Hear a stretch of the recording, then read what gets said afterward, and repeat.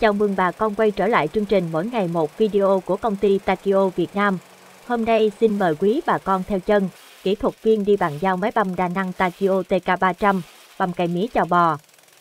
Máy băm đa năng Takio TK300, băm cây mía, băm rơm, băm cỏ voi, nghiền các loại hạt ngũ cốc, là dòng máy hoàn hảo hỗ trợ nhà nông chăn nuôi hiệu quả. Cây mía, cỏ voi, cây bắp là một trong những nguyên liệu phổ biến dùng để chăn nuôi gia súc, gia cầm. Tuy nhiên, để sử dụng loại nguyên liệu này một cách tốt nhất, bà con cần phải thái nhỏ, băm nát.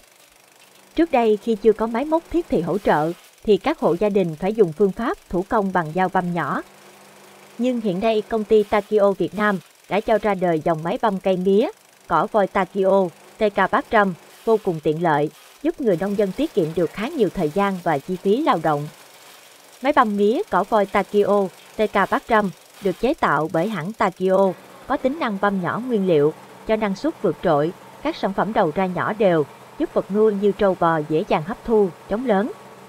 Máy phù hợp với quy mô chăn nuôi vừa và nhỏ, sẽ đem lại hiệu quả kinh tế cao hơn. Bà con đừng quên bấm nút đăng ký kênh video của Thế giới máy và bấm nút chuông ở bên cạnh để nhận thông báo mỗi khi Thế giới máy đăng tải video mới hướng dẫn sử dụng máy móc, thiết bị cho bà con.